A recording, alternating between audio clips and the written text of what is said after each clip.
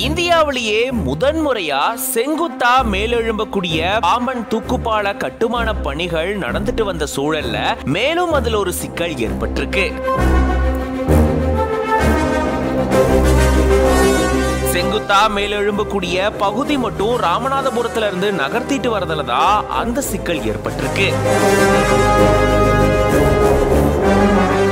இருநூத்தி முப்பத்தி எட்டு அடி நீளம் கொண்ட அந்த பகுதியை வளைவான சாலையில கொண்டு வரதுல ரொம்பவே சிக்கல் ஏற்பட்டிருக்கான் வாங்க இதை பத்தி விரிவா இந்த வீடியோல பார்க்கலாம்.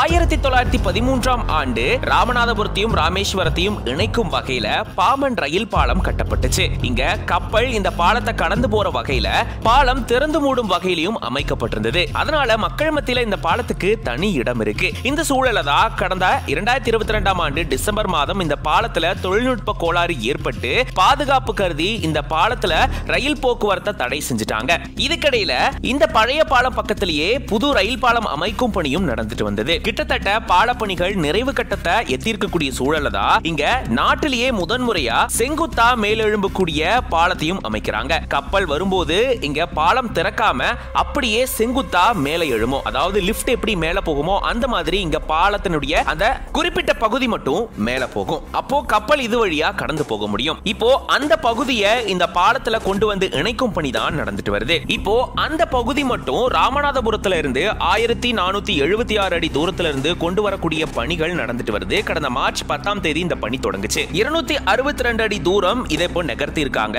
ஆனா இப்போ இதுல தான் புது சிக்கல் ஏற்பட்டிருக்கு. சாலை நல்லா வளைஞ்சு இருக்கிறதுனால இதை எடுத்துட்டு வரதுல சிக்கல் ஏற்பட்டிருக்கு.